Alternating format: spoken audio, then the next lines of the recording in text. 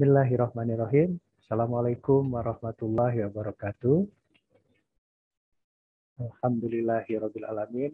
Thanks God that today we can meet again in the subject of sastra dalam pembelajaran sejarah, literature in the teaching uh, history. Uh, starting our subject, starting our lecture today, let's we uh, reciting together basmalah. Bismillahirrahmanirrahim.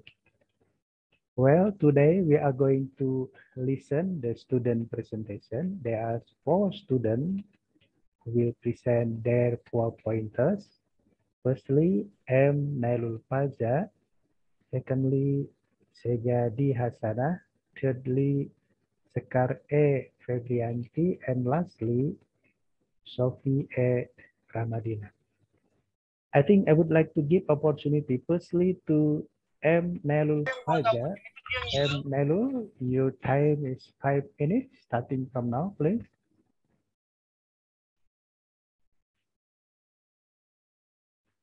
Baik, Assalamualaikum warahmatullahi wabarakatuh. Waalaikumsalam Terima kasih kepada Pak Andi dan Pak Esa atas kesempatan kepada saya. Uh, izin, memperkenalkan diri, nama saya Muhammad Elul Faza dengan NIM 1906201. Nah, dalam pertemuan kali ini saya akan membahas mengenai uh, perempuan, kedudukan, dan kebebasan dalam novel Genduk Duku karya YB Mangun Wijaya. Nah, uh, berbicara mengenai maksudnya pengaruh Islam ke Indonesia tentunya memiliki dampak salah satunya uh, terbentuknya kerajaan Islam. Dalam dalam studi kasus ini yaitu kerajaan Mataram. Nah, seperti kita ketahui bahwa kerajaan Mataram mencapai masa kejayaannya ketika dipimpin oleh Sultan Agung atau nama aslinya Susuhunan Ingalaga. Nah, di mana beliau mem memperluas uh, dakwah Islam ke seluruh penjuru Indonesia. Hanya saja uh, terkait dengan novel ini, novel buku ini terdapat sisi lain atau perspektif lain yang menyoroti dari kepemimpinan dari Sultan Agung hingga anaknya yaitu Sultan Amangkurat.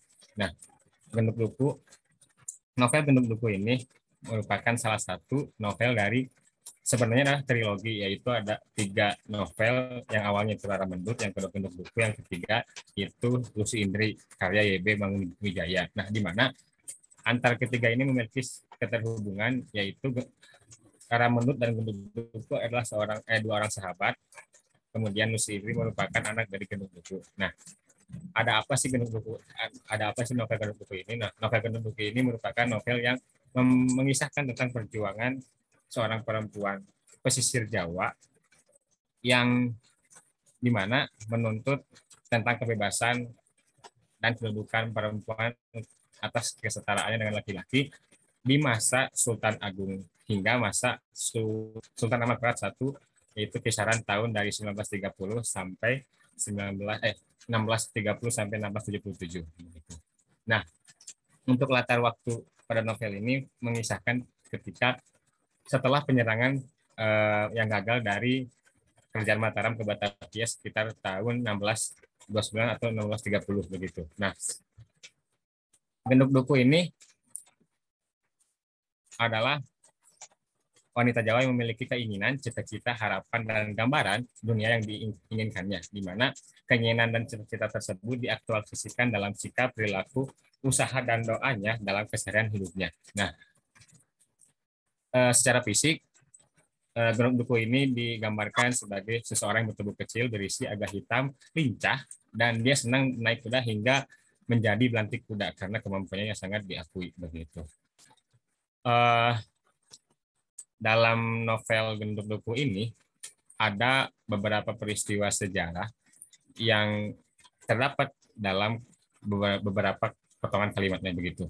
Contohnya yaitu uh, digambarkan Mataram sedang konfrontasi dengan orang-orang Belanda setelah penyerangan ke Batavia. Kemudian uh, Belanda Mataram menyerang Mataram melarang pengiriman beras ke Batavia, kemudian menangkap besar Van Meisik. Nah, eh, peristiwa penangkapan Van Meisik ini di dalam novel disebut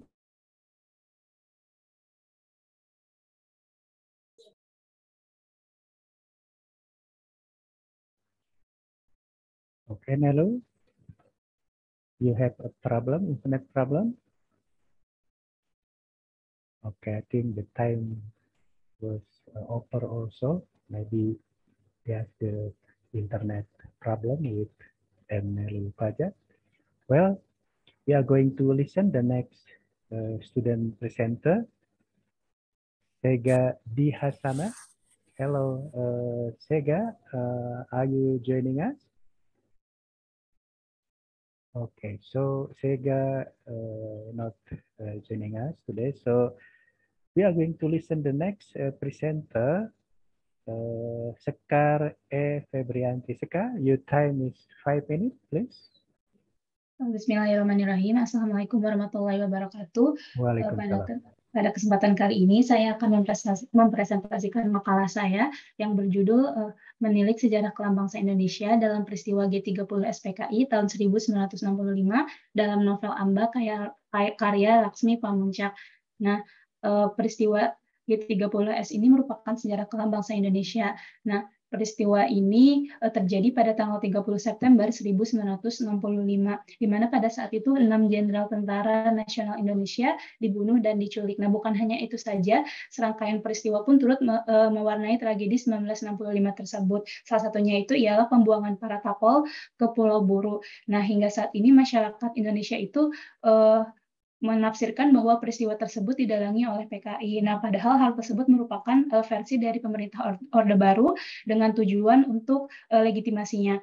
Nah, hal tersebut merupakan hasil rekonstruksi dari seorang uh, sejarawan militer, yakni Kolonel Nugroho Susanto dan juga Letnan Kolonel Ismail Saleh. Nah, berdasarkan sumber yang saya baca, terdapat beberapa versi mengenai G30S ini. Salah satunya itu menurut uh, The Cornell Paper. Nah, dalam dalam hal tersebut mereka ini menyebutkan bahwa G30S ini merupakan uh, masalah internal yang terjadi dalam tubuh TNI Angkatan Darat, uh, khususnya itu divisi di Ponorogo dari Jawa Tengah. Nah, berbicara mengenai G30 SPK ini tidak dapat lepas dari adanya kondisi sosial dan uh, ekonomi masyarakat menjelang uh, menjelang tragedi tersebut. Nah, di mana pada saat itu Presiden Soekarno ini memfokuskan uh, kebijakannya pada kebijakan politik sehingga pada saat itu terjadi kesenjangan dalam bidang sosial dan juga bidang ekonomi di mana pada saat itu masyarakat Indonesia ini uh, mengalami kelangkaan bahan pangan, kelangkaan uh, bahan bakar dan kelangkaan bahan pokok lainnya. Nah, uh, salah satunya itu Yogyakarta. Nah, Yogyakarta ini pada tahun 1956 sampai 1965 ini uh, mengalami kelangkaan bahan pokok. Nah, dalam novel Amba ini diceritakan bahwa uh, digambarkan bahwa hal tersebut ini uh, melalui kekecewaan dari tokoh Salwa. Nah, kamu tahu aku mencintai dia, tapi aku nggak ngerti apa yang direncanakannya. Dia membuat segala semakin rumit. Kehidupan semakin susah sekarang. Orang hanya peduli bagaimana membeli beras, minyak tanah, obat. Tapi dia malah berpidato tentang dekadensi Barat dari The Beatles sampai Keynes. Apa yang dimauinya dengan revolusi? Aku ingin tahu siapa yang bisa jadi bapak dari komunis-komunis yang militan, santri-santri yang tak sabar, dan militer yang cemas di satu sisi dan berperang melawan Barat di sisi lainnya tanpa menjadi gila. Nah, kemudian setelah peristiwa G30S ini, hal-hal yang berbau komunis juga dilenyapkan uh, di Indonesia termasuk instansi instansi pendidikan. Nah, salah satunya itu ada Universitas Respublika atau yang kita kenal dengan Universitas Trisakti. Nah, jadi pada tanggal 15 Oktober 1965, universitas ini itu menjadi sasaran massa di mana universitas ini dibakar. Nah, eh, dalam novel Amba diceritakan bahwa sebelum penyerangan universitas tersebut digambarkan bahwa terdapat sekelompok yang memakai baju merah. Nah, merah tersebut digambarkan sebagai komunis. Nah, kemudian setelah adanya peristiwa G30 SPKI, adanya pemerintahan masa Orde Baru. Nah, pada masa tersebut juga pemerintah ini eh, menghilangkan berusaha untuk menghilangkan komunis dalam diri Indonesia. Nah, salah satunya itu dengan adanya instasi Eh, rehabilitasi Pulau Buru atau Ilha Pulau Buru pada tahun 1969 sampai 1979. Nah, selain itu, berdasarkan sumber yang saya baca ini, hal tersebut itu didasari atas pemerintah eh, atas uh, keputusan dari Presiden Soeharto nomor 16 tahun 1969. Isinya itu untuk membentuk Komando Operasi Pemulihan Keamanan dan Ketertiban yang bertujuan untuk menciptakan keamanan dan ketertiban setelah adanya peristiwa G30S tersebut. Nah, kemudian dasar hukum dalam menyelenggarakan proyek Indra Buruh tersebut ialah Undang-Undang Nomor 5 tahun 1969 tentang kewenangan untuk melakukan penawanan dan pemberantasan kegiatan subversi. Nah, mereka yang diikut sertakan dalam proyek ini ialah para tapol yang berasal dari Pulau Jawa. Nah, kemudian para tapol ini dilepas untuk dapat membuka lahan dan juga uh, membuka hutan sendiri tanpa bantuan alat. Nah, hal tersebut di dalam novel Amba digambarkan dalam isi surat yang Bisma tulis untuk Amba. Isinya itu seperti ini. Lalu ia bercerita tentang apa yang dikatakan Bisma kepadanya. Bagaimana Bisma merasa dibuang bersama yang lain-lainnya. Dibuang dan dimanfaatkan untuk mengubah pulau ini bagi para penguasa. Dengan membuat sawah, dengan menanam tumbuhan untuk makan, dan diperjualbelikan dengan membuka jalan. Tetapi menurut Bisma, pulau ini disiapkan untuk mengurung para tapol, sebab lembah di mana kem tahanan terletak sesungguhnya adalah sebuah penjara. Alam cekung yang tiga arahnya dikitari tembok hutan, belukar, dan perbukitan yang sambung menyambung. Arahnya yang keempat dikepung laut, kurungan tefaat. Nah, di dalam novel Amba ini kita tidak diajak untuk menghakimi, tetapi kita itu diajak untuk uh, melihat G30 SPK itu dari sisi yang lain, yakni berdasarkan uh, cerita personal dan juga berdasarkan cerita rakyat-rakyat yang pada saat itu tidak mendapatkan perhatian dari pemerintah. Terima kasih. Wassalamualaikum warahmatullahi wabarakatuh. Oke. Waalaikumsalam warahmatullahi wabarakatuh. Thank you very much, Sekar Febrianti. Well, the last uh, presenter is Sophie uh, Ramadina. Sophie, your time also similar, five minutes, please. Uh, saya Pak. Baiklah, Assalamualaikum warahmatullahi wabarakatuh. Di sini saya akan mempresentasikan uh, uh, apa novel sastra yang saya pilih yaitu uh, mengenai nasionalisme dalam karya mal, dalam karya Multatuli uh, yang berjudul Max Havelaar. Nah, nasionalisme yang disajikan dalam novel uh, dapat kita lihat ya melalui uh, representasi dua simbol yaitu uh, simbol menara dan orang. Nah, Multatuli ini menggunakan simbol menara dan orang dalam menggambarkan nasionalisme ini. Jadi Multatuli menggambarkan bagaimana sebuah menara bukanlah sebuah bangunan melainkan sebuah ide dan mimpi. Dalam novel tersebut juga Multatuli memberikan petunjuk Eh, untuk setiap orang yang ingin mengerti makna dari menara harus melihat ke katedral di Cologne. Multatuli menyebut katedral katedral katedral di Cologne sebagai sumber untuk membuat penafsiran kata menara. Melihat kembali ke latar belakang historisnya dari dua menara besar di katedral katedral tersebut memiliki proses pembangunan menara yang memakan waktu 600 tahun Eh, dari tahun 1200 hingga 1800. Nah, dari bangunan ini menandai kesatuan warga untuk menyelesaikan pembangunan bangun uh, pembangunan bangunan uh, tersebut. Nah, katedral tersebut sebagai simbol antara orang dan kesatuan. Semua partisipasi warga merujuk pada proses modernisasi nasionalisme di mana orang dimobilisasi dalam kesatuan. Nah, merujuk pada bangunan uh, menara katedral di Cologne tersebut, Multatuli menggambarkan tiga poin uh, semangat untuk mencapai tujuan bersama. Uh, yang pertama ada nasionalisme uh, yang menghasilkan konsepsi besar yang mengacu pada ideologi. Kedua, mengacu pada kepercayaan uh, pada ide untuk berjuang dalam uh, kebersamaan. Ketiga, bagaimana nasionalis menjadi panutan untuk sebuah ideologi yang dapat diterima oleh orang lain dalam mempengaruhi masyarakat. Nah, istilah nasionalis memiliki beberapa sudut pandang ya. E, gambar dua nasionalis e, yang biasa orang-orang e, pahami. Yang pertama, sikap anggota negara itu sendiri ketika mereka tertarik pada identitas negara. Yang kedua, ke, tindakan anggota-anggota bangsa mengambil, mengambil dalam upaya mencapai beberapa bentuk kekuatan politik.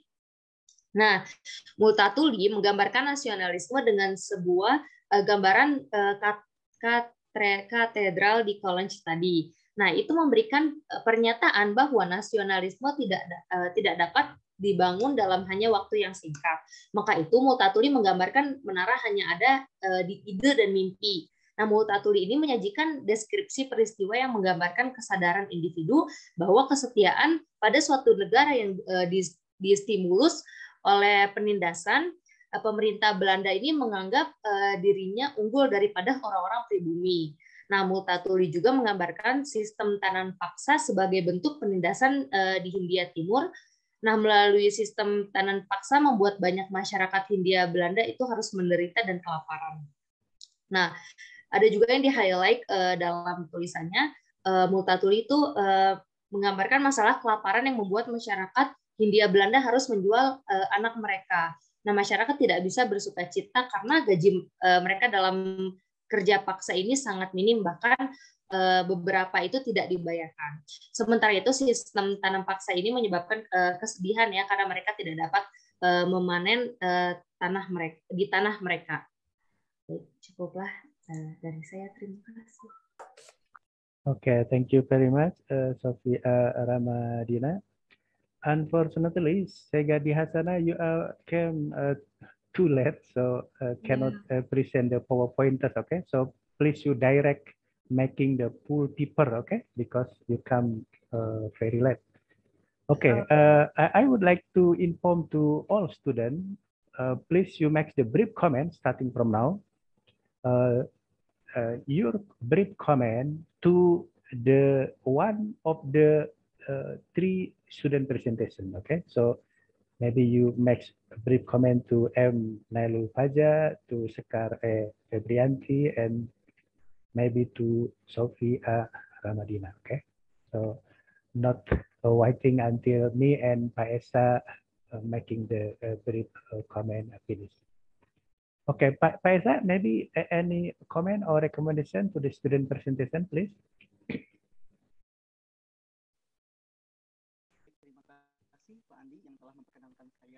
Uh, menambahkan ataupun memberikan catatan terkait dengan presenter yang Pak Esa, your, your voice uh, not not clear. Please, uh, maybe maybe volume. Bapak sekarang? Oke, okay, good. Baik, saya ucapkan terima kasih kepada Pak Andi menonton saya untuk menambahkan ataupun memberikan catatan kepada para presenter yang tampil. Pertama-tama mungkin Bapak ingin menambahkan eh, kepada semua dulu saja, kepada semua. Nanti Bapak akan tambahkan ataupun memberikan catatan pada orang per orang gitu. Jika kita belajar tentang eh, novel di dalam pelajaran sejarah, mungkin kita sudah sepakat ya bahwa jika kita berbicara tentang novel, ada kelebihan yang bisa diambil yaitu bahasa dan ceritanya itu lebih menarik gitu. Tetapi yang menjadi keunggulan juga itu adalah bagaimana kita bisa memunculkan terkait dengan latar belakang sejarah. Nah ini yang mungkin menjadi kesulitan juga dari para penampil bahwa mungkin kita bisa menambahkan dalam setiap uh, analisis kita terkait dengan kedudukan antara fakta dan juga fiksi itu sendiri gitu. Sehingga analisis yang kita buat terkait dengan novel ini akan lebih tajam gitu dan lebih lebih bagus gitu. Karena memang nanti ketika kita masuk ke dunia pendidikan ataupun ke kelas bagaimana nanti ke, keadaan seorang guru itu adalah dihadapkan pada kemampuan kita yang selektif ibaratnya mencari di novel sejarah ini mana yang mana yang sejarahnya dan mana yang bukan gitu. Nah ini yang akan menjadi pekerjaan rumah bagi kita gitu. Itu yang pertama gitu. Eh, Bapak akan masuk untuk memberikan catatan pada orang per orang. Yang pertama itu adalah saudara Nailul Faja terkait dengan perempuan, kedudukan dan kebebasan novel Genduk uh, Duku. Uh, berbicara tentang sisi lain dari sorot kepemimpinan pada masa Sultan Agung. Mungkin tadi M. Nailul belum selesai ya, tapi dari gambaran yang sudah diberikan M. Nailul bahwasannya ada sisi lain terkait dengan eh, kedudukan perempuan pada masa itu. Nah, di sini kita bisa menambahkan bahkan mengkritisi dari apa yang ditampilkan dari novel tersebut. Jikalau kita mengambil pembanding, Bapak teringat dengan apa yang dijelaskan oleh Peter Carey bahwasannya justru pada masa Sultan Agung juga bagaimana perempuan itu ada ada ada satu ada ada satu momen di mana perempuan itu diangkat derajatnya. Salah satunya itu kita bisa mengenal ada pasukan istri gitu. Biasanya kan pasukan itu diisi oleh laki-laki, tapi pada masa Sultan Agung juga ada yang dinamakan pasukan istri atau mungkin lebih dikenal dengan pasukan Lengen Kusumo. Kalian bisa cari lagi gitu ya itu kan bisa menunjukkan bahwasannya ada kedudukan seorang perempuan itu yang memang diangkat derajatnya pada saat itu. Dan ini bisa menjadi pembanding dari apa yang dimunculkan dari novel yang dianalisis oleh M. Nailul Faja itu sendiri gitu. Nah, itu untuk M. Nailul Faja. Yang kedua itu eh, Bapak akan menambahkan ataupun memberi catatan dari apa yang disampaikan oleh eh, Sekar terkait dengan G30 SPKI ya pada eh, Topel Ambakarya kalau tidak salah. Eh, mungkin di pertemuan-pertemuan sebelumnya Bapak eh, sudah menjelaskan Bapak setuju bahwasanya apa yang disampaikan oleh M. Nailul, Sekar, ataupun Sopi tadi sudah bagus gitu. Tapi catatan ini mungkin bisa menjadi tambahan untuk menyempurnakan gitu. Eh, seperti yang kita ketahui bahwasannya judul itu adalah sebuah gambaran, sebuah wajah, sebuah kepala yang bisa menyeratkan sebuah isi dan maksud dari sebuah karangan ataupun tulisan gitu. Nah mungkin Sekar nanti bisa fokus terkait apa yang memang ingin dimunculkan gitu karena jika kita berbicara tentang novel Ambakarya, justru kita akan melihat juga eh, fenomena yang terjadi pada masa Orde Baru. Artinya pada tahun pada masa setelah dari tahun 1965 gitu. Ini mungkin bisa fokusnya bisa lebih di latar belakang sejarahnya bisa lebih di apa? Lebih dimajukan, lebih dipanjangkan agar apa yang dijelaskan itu sesuai dengan judulnya.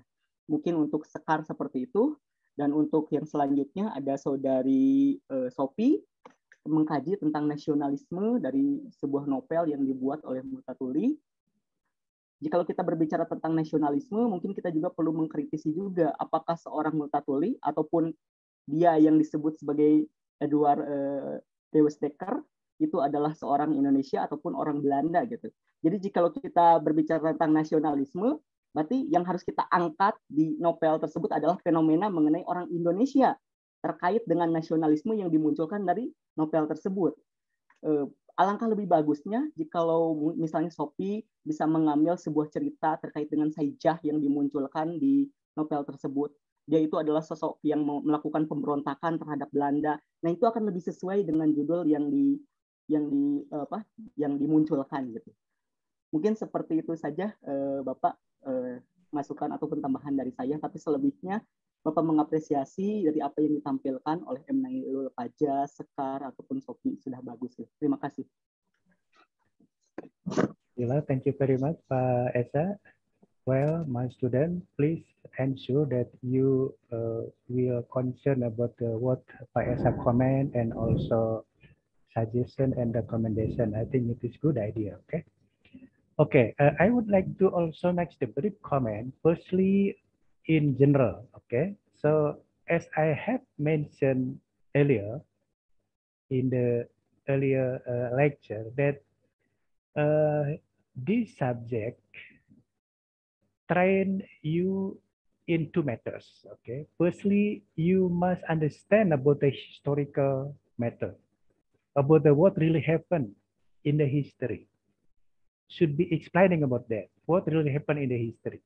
And secondly, because history is just chronological matters, just when, who, what, how, why, and so on, it is not interesting, should be enrichment by the literature.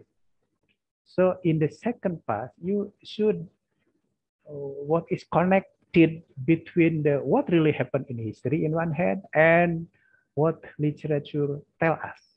Okay, I think it is uh, not yet clear about your presentation, as Paisa also uh, said about your presentation. Okay.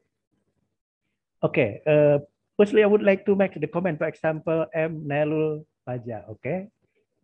Your title is good. There's the period, there's the time. You want to explore about the time of Sultan Agung and Amangkurat uh, uh, region, okay, region in or administration in 17th uh, century. But your topic is about the woman position and freedom. So you you should explain about what really happened about woman position and freedom in the time of Sultan Agung and Amangkurat I in 17th century, it is not yet clear. Okay, so you you uh, not yet understand about the what really happened in the Mataram kingdom related to the woman position and the freedom. Maybe you should understand about the figure, for example, in the time of Mataram kingdom, there's the Ratu Kalinyamat. It is woman. Nyi Ageng Serang is a woman and it's the real figure. Okay, not imaginative, not fictive figure. Maybe the mother of Amangkurat one, the mother of Amangkurat a second. So you should understand about the role and figure woman in the time of Mataram Kingdom and what really happened in historical matters and how the literature, particularly about the Genduk Duku, tell us about the position, freedom, and women in the time. Okay, so uh, you should and you should analyze like that. There's the good uh, relationship between the what really happened in the historical matters in the time of Sultan Agung and Amangkurat one uh, administration in one hand, and how the literature tell or enrichment our understanding about the woman position and freedom in the time. I think uh, it is not yet clear for you, okay? Because of that, please, firstly, you understand about the woman figure in the time of Mataram uh, period. Maybe the position of Nyi Ageng Serang, maybe the, maybe there's the uh, army woman, not man. Maybe there's the the army, the soldier woman who attacked the the Batavia, the the, the Jakarta. Not only men, but also maybe there's the army woman and how the Sultan Agung attitude and Amangkur attitude to the army also the woman. Uh, uh, you you should analyze analysis uh, because your title, your topic about the woman position and freedom. Okay, uh, it is for the uh, M Nailul uh, uh, Paja. Okay. Okay. Secondly, it is also similar with Sekar e Febrianti. Okay. okay. You uh, do you understand what the meaning of Amba? I think the title is novel is Amba. It is the Javanese language. Amba is broadness. Okay rubak in Sundanese language. so what the meaning amba here? Okay. So secondly, it is similar.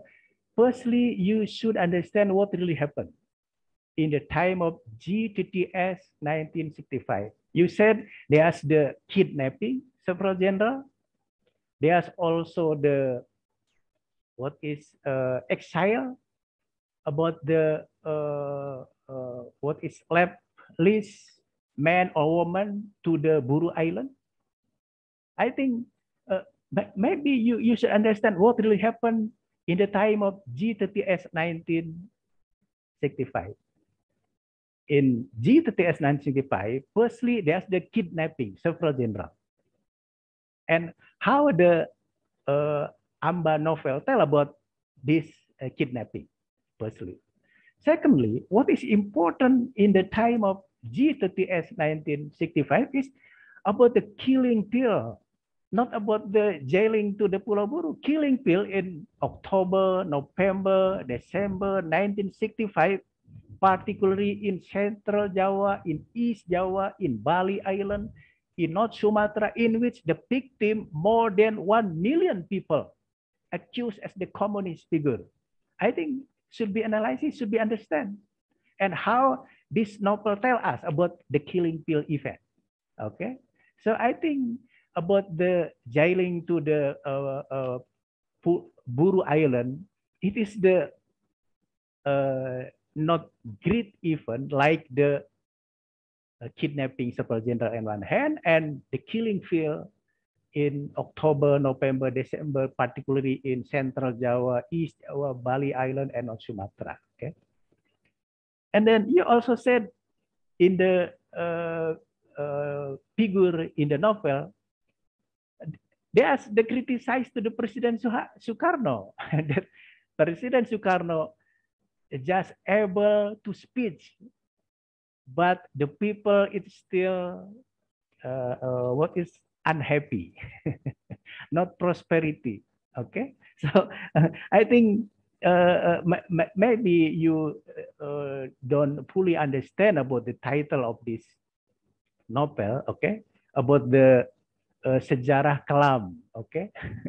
the darkness history, uh, because uh, what darkness history here? Uh, kidnapping several gender, the killing pill of people, or maybe the economic social condition in which bad in the time as uh, figured out by the uh, Mohtar Lubis novel Senja di Jakarta. Okay, so please, uh, Sekar, you should be clear. First, firstly, what really happened about the G30S 1965 kidnapping the civil general, the, pill, uh, the killing pill about the people accused as the communists or others. Yeah. Because if you concentrate to the Buru Island jailing, such as uh, Pramudia Anandatur, I think you, uh, of course, makes the judgment in history. Okay, you judgment is that the new order government is bad government. Meanwhile, uh, Pramudia Anandatur and others who uh, exile to the pullover is hero. It is the judgment. Okay, so please ensure that the novel with title of Amba of broadness uh, should also understand what does it mean, what the meaning of Amba. In order you can understand between the title in one hand and the content in others. Okay. Okay. Uh, uh that's my uh, uh, comment. And lastly, also similar to Sophie Aramadina. Sophie, you didn't yet understand about the uh, title and content. Your title about the nationalism in the uh, novel of Multatuli. This novel tell us about the 19th century. In 19th century, there is not yet a cure about the nationalism.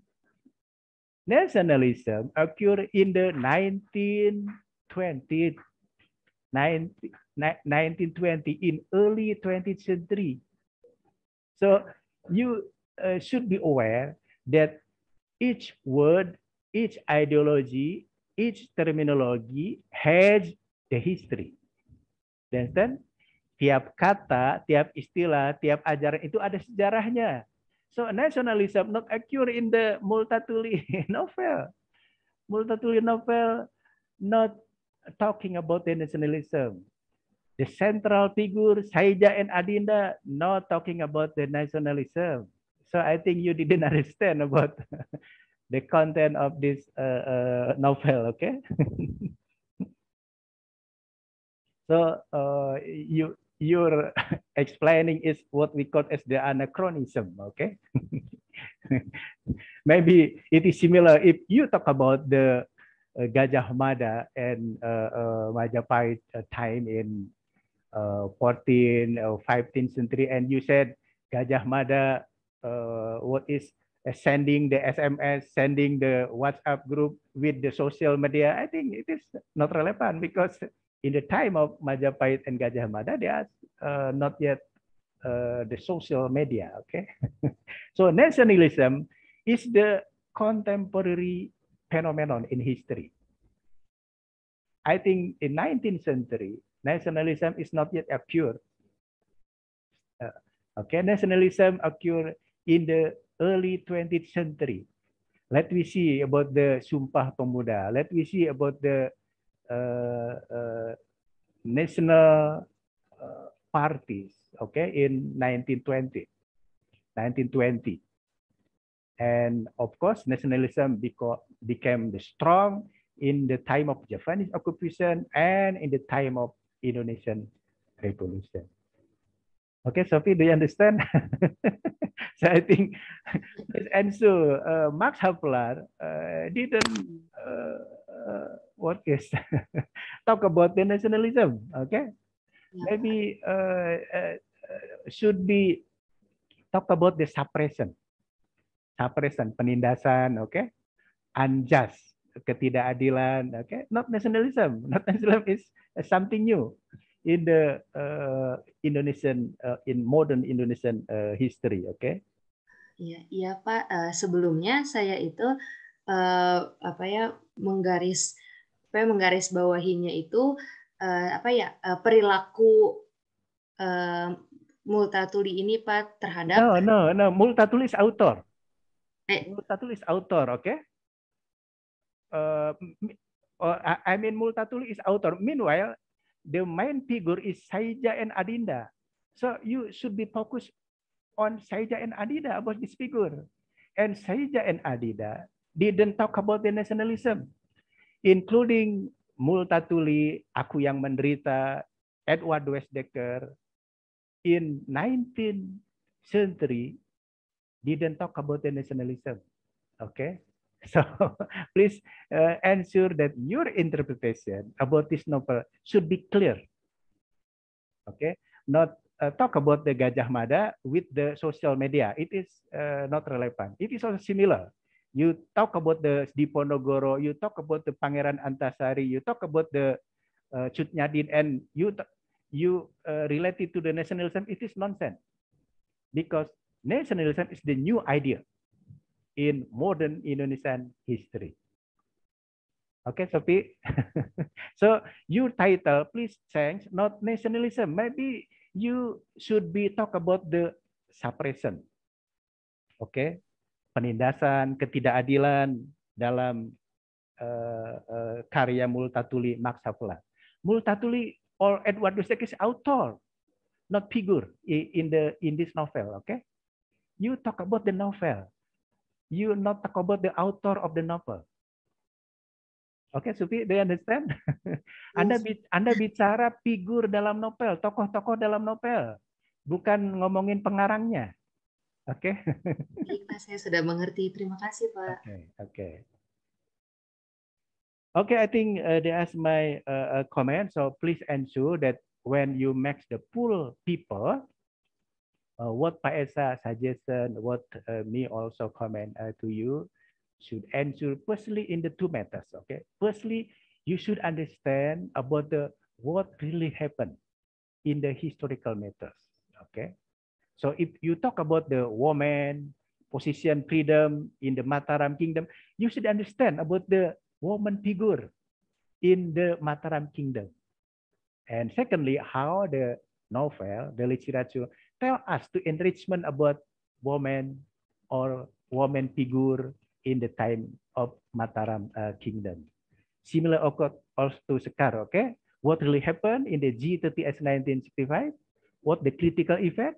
There's the kidnapping or the killing field, and how the novel of Amba tell us and reach and reach us about this critical event. Okay, and Sophie should be change your title, not talking about the nationalism. Maybe that's the suppression. Maybe that's the uh, what is uh, injustice. Okay, ketidakadilan and so on, based on the uh, Multatuli novel entitled the Max Havelaar and should be focused analysis about the Saija and Adinda as the two central figure in this novel. Okay. Okay, uh, ladies and gentlemen, my student, thank you very much for your attention and let's ending our lecture today by reciting together also Hamdalah. Alhamdulillahirabbil alamin. inshallah we will uh, meet again in the uh, next uh, time and uh, thank you very much for your attention once again uh, wassalamualaikum warahmatullahi wabarakatuh Waalaikumsalam warahmatullahi wabarakatuh. Okay, we can live from this meeting.